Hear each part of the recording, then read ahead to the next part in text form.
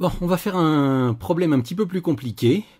Ah, ici, là, dans le dessin de gauche, j'ai dessiné le graphe de y égale x carré moins x et le graphe de y égale x, et on va faire tourner la région comprise entre les deux graphes, celle que j'ai assurée, entre, autour, autour de l'axe horizontal y égale 4.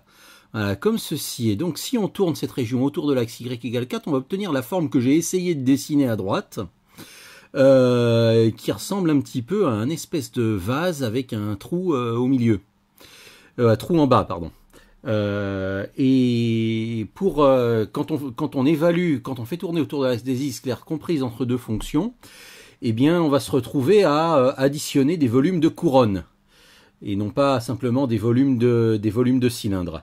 Alors, on va essayer, je vais essayer de représenter ces couronnes comme ceci, c'est-à-dire je, je, trace là sur la, figure de gauche un petit rectangle élémentaire que l'on va faire tourner autour de l'axe des abscisses, et on va le retrouver ici, là sur la figure de droite, hein, sur notre figure en trois dimensions, la figure de droite c'est notre figure en trois dimensions, et euh, voilà, là on va avoir le, rayon antérieur de notre petite couronne là, et euh, j'essaie de dessiner maintenant le rayon extérieur de la couronne pour bien faire apparaître la couronne. Alors, euh, je fais ce que je peux pour obtenir la meilleure qualité possible. Voilà, on commence à voir comme ça notre couronne, notre couronne qui a évidemment une petite épaisseur, une épaisseur de dx. Donc là, j'essaye de représenter cette épaisseur de couronnes, et tu comprends, on, décompose notre solide de révolution en toutes petites couronnes comme ceci, on va, et on va faire, on va dire que le volume du solide de révolution est la somme du volume de ces petites couronnes.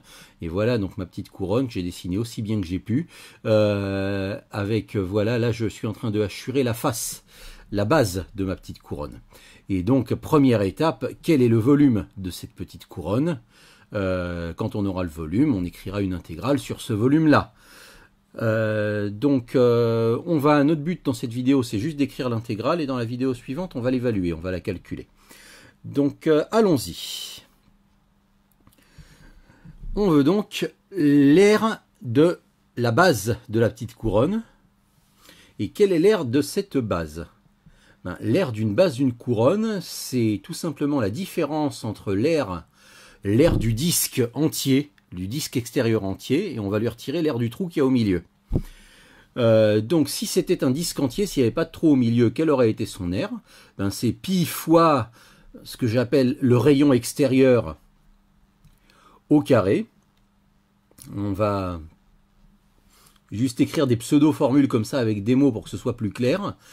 Voilà le rayon extérieur sur ma figure et je dois lui retirer l'air du trou qu'on a fait au milieu, c'est-à-dire pi fois l'air du rayon intérieur, puis pi fois pardon, le rayon intérieur au carré.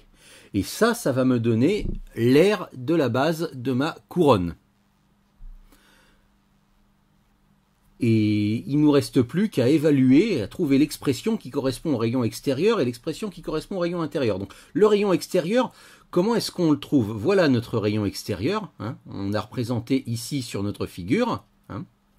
Et le rayon extérieur, c'est en fait la distance entre y égale 4, notre axe de révolution, et la fonction qui se trouve la plus éloignée, la fonction qui se trouve à l'extérieur, qui est ici x carré moins 2x. Donc notre rayon extérieur, c'est la distance entre y égale 4 et y égale x carré moins 2x. C'est donc la différence entre 4 et x carré moins 2x. Donc c'est 4 moins entre parenthèses, x carré moins 2x, entre, ou on va écrire directement sans parenthèse, 4 moins x carré plus 2x. Donc voilà l'expression qui correspond à notre rayon extérieur. Maintenant, le rayon intérieur, le rayon du trou qu'on a fait. Quel est-il? Ben, C'est la différence, c'est la distance entre 4 et la fonction qui est à l'intérieur et la fonction qui, qui est x. Donc c'est tout simplement 4 moins x. Et voilà, il nous reste plus qu'à substituer cette expression, ces deux expressions dans l'air de notre euh, base de couronne, et on aura, euh, et on aura donc euh, l'expression qui calcule l'air de la base de la couronne. Donc c'est pi fois l'air de la base de la couronne, c'est pi fois, on avait dit, le rayon extérieur 4 moins x carré plus 2x, le tout au carré, c'est rayon au carré. Et là, j'ai factorisé le pi, donc il ne me reste plus qu'à substituer le rayon, le rayon intérieur au carré, donc c'est 4 moins x au carré. Je referme la parenthèse, là tu remarques que j'ai mis le pi en facteur par rapport à l'expression que j'ai écrite tout en haut de l'écran, là. Mais c'est exactement la même chose. Hein. Et donc euh, voilà l'air de la base de notre petite couronne élémentaire. Et si je veux son volume, il faut que je multiplie par l'épaisseur de la couronne qui est dx. Et voilà donc le volume d'une petite couronne élémentaire. Et si je veux le volume de mon solide de révolution en entier, il va falloir que j'additionne, que je fasse la somme, c'est-à-dire l'intégrale de tout ceci. Euh, mais évidemment, maintenant, il faut trouver l'intervalle d'intégration entre combien et combien. Donc entre combien et combien, c'est entre les deux points où nos deux fonctions se croisent, où nos deux fonctions se rencontrent, les deux points où, y égale x vaut la même chose que y égale x carré moins 2x. Donc, les, donc en fait, ces deux points-là vont m'être donnés par la solution, par les solutions de l'équation x égale x carré moins 2x.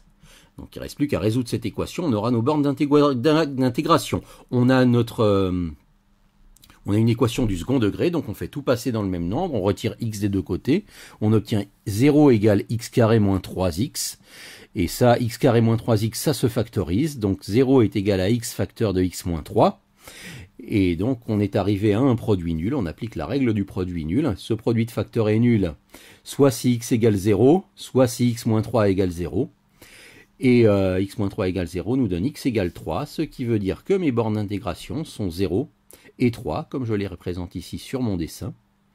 Et donc mon intégrale devra être évaluée entre 0 et 3, et voilà ce qui va me donner le volume de mon solide de révolution, ce volume que je vais évaluer à la prochaine vidéo.